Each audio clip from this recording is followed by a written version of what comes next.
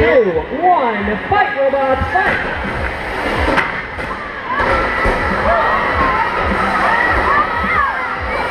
I know, right? This is super fun. Back in 1995, when the first Legends were built, there's a wedge among wedges called La Machine. Oh! Dag nabbit. I told you that wasn't going to work, Kurt. Now we gotta fix that with a sledgehammer. Do we have a mauler hammer?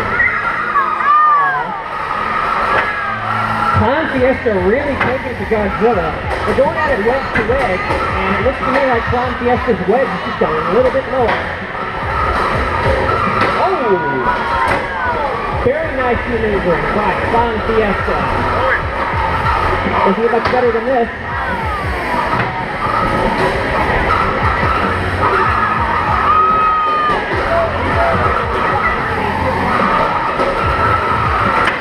Clown Fiesta is just shoving Godzilla around the arena.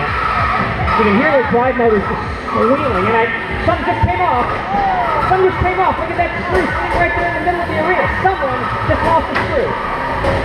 I'd say we need to have our judges take a look, but uh, I'll be perfectly honest, we don't really have any. We're going to go with the audience on this one. So if any of you would like to see the screw in question, I'm sure we can find a way to manage that for you. Anyways, robots are continuing onwards as uh, we've got how much left of this fight?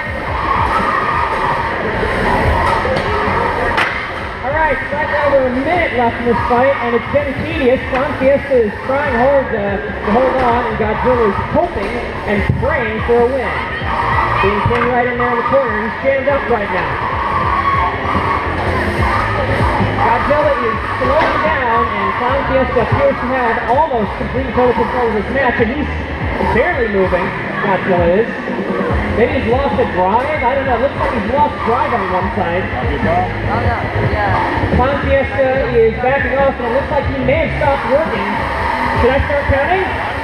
10, 9, 8, 7, 6, 5, 4, 3, 2, 1. Ladies and gentlemen, it's over. Your winner, Clown Fiesta!